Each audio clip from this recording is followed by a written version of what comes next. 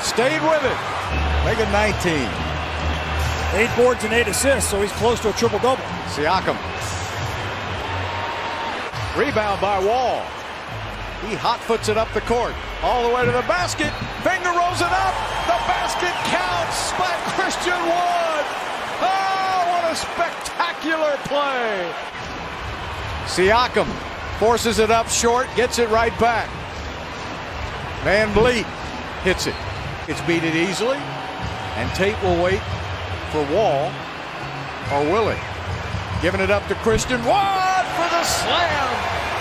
Christian Wood with 19 points here in the second half. And the ball was allowed to hit the floor. House almost got to it. Norman Powell with Whoa. a dunk. Man, that's a nice dunk. Down to six, down to five. And a bounce pass to Tate. Puts it up. Oh, what a strong move. How did he catch it, first of all? Should have been an and one.